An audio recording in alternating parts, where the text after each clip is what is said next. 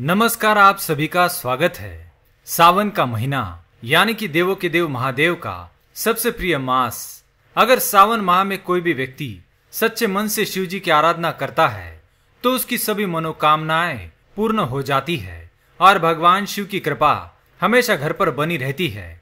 लेकिन कुछ ऐसे काम भी है जो हमें सावन के महीने में भूल कर भी नहीं करने चाहिए, नहीं तो भगवान महादेव हमसे रुष्ट हो सकते हैं। आज के इस वीडियो में हम आपको सावन मास से जुड़े कुछ ऐसे तथ्य और कार्यों के बारे में बताएँगे, जिन्हें भूलकर भी नहीं करना चाहिए। इन कामों को करने से हमेशा बचना चाहिए, क्योंकि इससे भगवान शिव क्रोधित हो जाते हैं। तो चलिए जान लेते हैं, वह कौन से कार्य है जो सावन के महीने में हमें नहीं करने चाहिए। पर उससे पहले अगर आपने चैनल को सब्सक्राइब नहीं किया है तो इसे सब्सक्राइब कर लीजिए, ताकि आपको ऐसे आध्यात्मिक जानकारी वाले वीडियो देखने को मिल सके। साथ ही वीडियो को एक छोटा सा लाइक ज़रूर करें। सावन का महीना भगवान शिव का सबसे प्रिय महीना माना जाता है। इस पूरे महीने के दौरान महादेव बहुत ही ज़्यादा प्रसन्न होते हैं।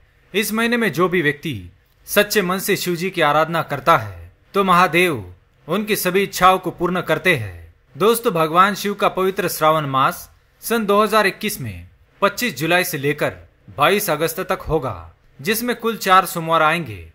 जिसमें प्रथम सोमवार व्रत 26 जुलाई को, दूसरा सोमवार व्रत 2 अगस्त को, और तीसरा सोमवार व्रत 9 अगस्त को, और चौथा सोमवार व्रत 16 अगस्त को आएगा। सभी भक्तजन बड़ी श्रद्धा से प्रत्येक सोमवार व्रत रखकर शिव जी की आराधना करते हैं। इससे उनकी मनोकामनाएँ पूर्ण होने की संभावनाएँ बहुत बढ़ जाती है, और यही वह महीना है जिसमें भगवान शिव की कृपा सबसे ज़्यादा बरसती है। लेकिन दोस्तों, सावन मास के दौरान हमें कुछ विशेष बातों का ध्यान अवश्य रखना चाहिए। अन्यथा भगवान प्रसन्न होने की बजाय नाराज़ हो सकते हैं। तो चलिए जान लेते हैं, सावन में क्या करना चाहिए और क्या नहीं।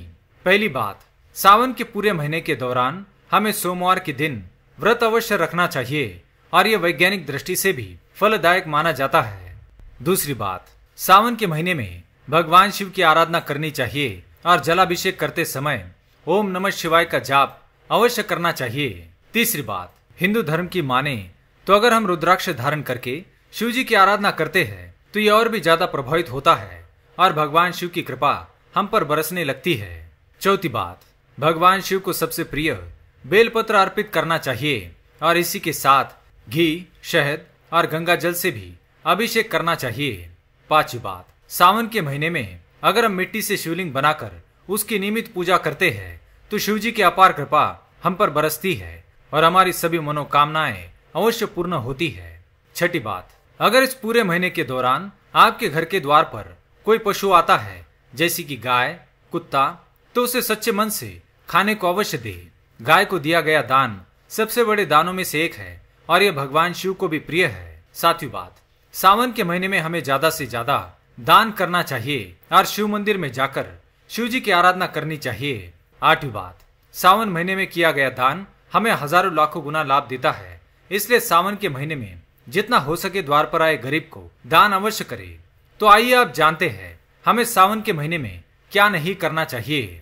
पहली बात, सावन महीने में भगवान शिव की भक्ति करते समय हमें केतकी का फूल, तुलसी के पत्ते और शंकर से जल, भूल से भी चढ़ाना नहीं चाहिए।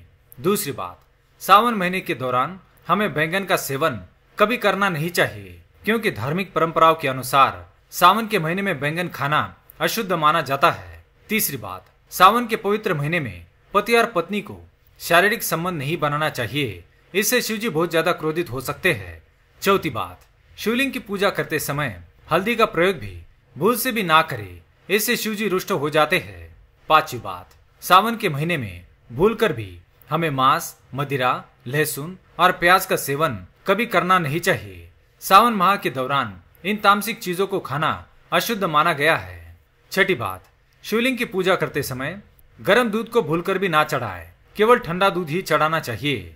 सातवीं बात, अगर हम सावन माह के दौरान पूजा करने के बाद खाना खाते हैं तो हमें कासे के बर्तन में भूल से भी खाना नहीं चाहिए। आठवीं बात, सावन महीने के दौरान हमें एक दूसरे से नफरत या अपशब्द कभी कहने नहीं चाहिए। ऐसा करने से शिव जी क्रोधित हो जाते हैं। नवी बात, सावन महीने के दौरान घर में विशेष रूप से साफ़ सफ़ाई का ध्यान रखें। इससे शिव जी जल्दी प्रसन्न होते हैं और आपके घर में प्रवेश करते हैं। आठवीं बात, सावन महीने के दौरान हमें अपने बाल, नाखून इत्यादि नहीं काटने चाहिए और दाढ़ी भी नहीं बनवानी चाहिए। सावन के महीने में हमें देर तक सोना नहीं चाहिए। सुबह जल्दी जागकर स्नान आदि करने के पश्चात शिव जी की आराधना करनी चाहिए और दिन में भी सोना नहीं चाहिए। सावन के महीने में अगर कोई गरीब व्यक्ति दिखता है तो उसे खाली हाथ जाने ना दे। तो दोस्तों, ये थे वह कार्य जो सावन के महीने में हमें भूल से भी नहीं करने चाहिए। अगर ये वीडियो पसंद आए तो लाइक करें, कमेंट में हर हर महादेव अवश्य लिखे, साथ ही चैनल को सब्सक्राइब करें। धन्यवाद।